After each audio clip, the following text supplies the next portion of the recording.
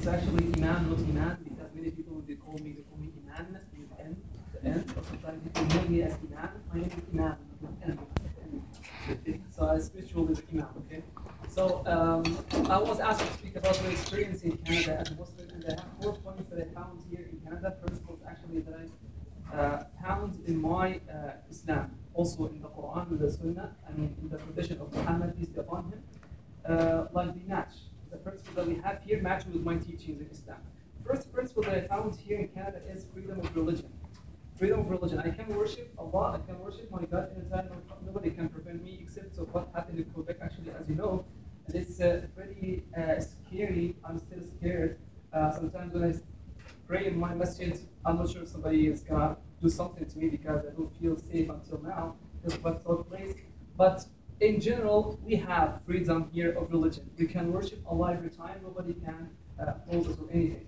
And we have this principle in our Islam too, in our Quran.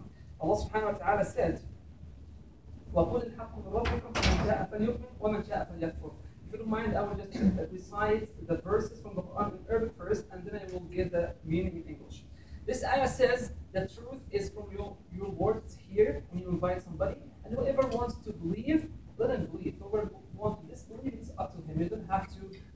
force anybody. And Allah said, La ikraha fi. Allah the Almighty also said, there is no compulsion in religion.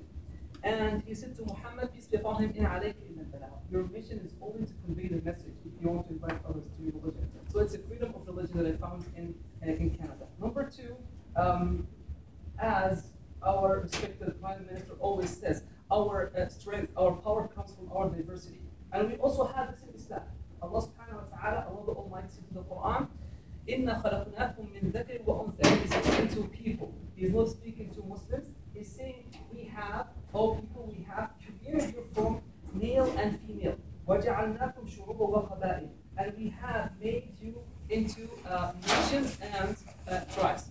And then he mentioned the reason, said, لِتَعَارَفُوا Just to get to know each other. This is the reason why we were created different, to get to know each other. لِتَعَارَفُوا إِنَّ أَكْرَمَكُمْ عِنْدَ اللَّهِ أَتْقَاكُم Then he said, the best amongst you are those who the most pious towards God, the most righteous uh, towards God. Uh, number three that I found in Canada here as a Muslim is um, mutual respect and acceptance. Mutual respect and acceptance. Alhamdulillah, I'm from Egypt. I was born and raised in Egypt. I've been here for only four years, but people accept, uh, accept me and they respect me, and they also do the same thing towards them. And I have this in my religion. Allah subhanahu wa ta'ala said, the Almighty said, لا ينهاكم الله عن الذين لم يقاتلوكم في الدين ولم يخرجوكم من دياركم أن تبروهم وتقسطوا إليهم. He said to us Muslims, when you deal with others, when you deal with others, deal with them with bir. And the word bir in Arabic language, because the Quran is in Arabic, is a higher level than justice. Just actually is to take my rights and to give you your rights. But bir is to forgive my rights. I don't want my rights, and to give others more than what they deserve. And Allah the Almighty used the same words bir, when He spoke about being kind towards our parents. He said about Sayyidina Isa ibn Maryam, Jesus, the son of Mary, uh, peace be upon him, he said, He used to practice this bir towards his parents.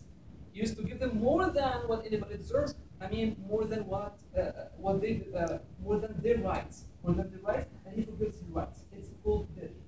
Number four that I found here is social work. We're supposed to work actually together, and um, Allah the Almighty said, وَتَعَاوَنُوا عَلَى الْبِرِّ وَالتَّقْوَى وَلَا تَعَاوَنُوا عَلَى الْإِثْمِ وَالْعُدْوَانِ Cooperate all together. He's talking to the human beings to achieve righteousness and piety. What is beneficial uh, for everybody in the community, Muslims and non-Muslims. That's what I found here as um, a Muslim in Canada. I don't want to, I'm supposed to reflect on something else, but I think that's enough. I have four principles that I found in Canada and in my teachings. Thank you so much for listening.